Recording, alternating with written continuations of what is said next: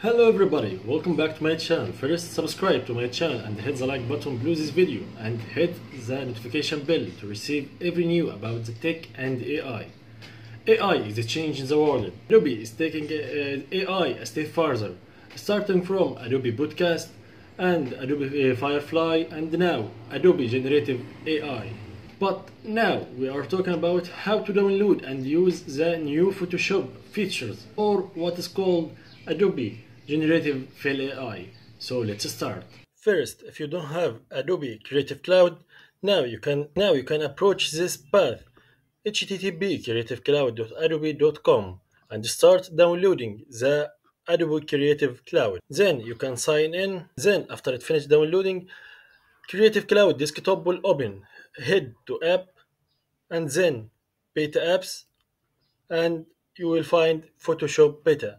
Now you can try it, but if you don't have an account in Adobe, now Adobe is giving you a 50% off for three months if and a, a seven days free trial.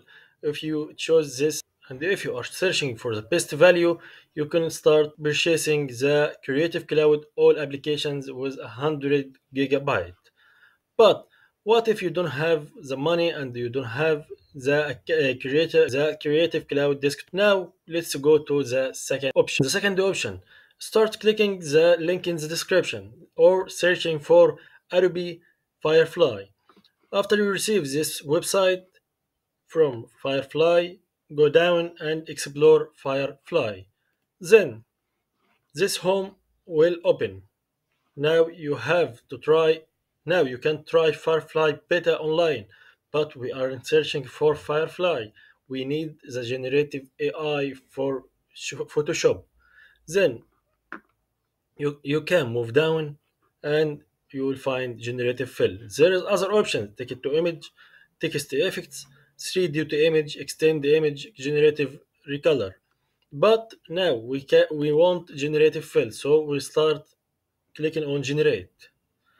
This page will pop up. Now you can start using the generative fill, the new feature from Adobe, by, by making edits on some samples or uploading your own and start using it and that's the only two ways you can use for using the generative AI from from Adobe. Start using it and let me know what's your feedback. And don't forget like this video and see you later.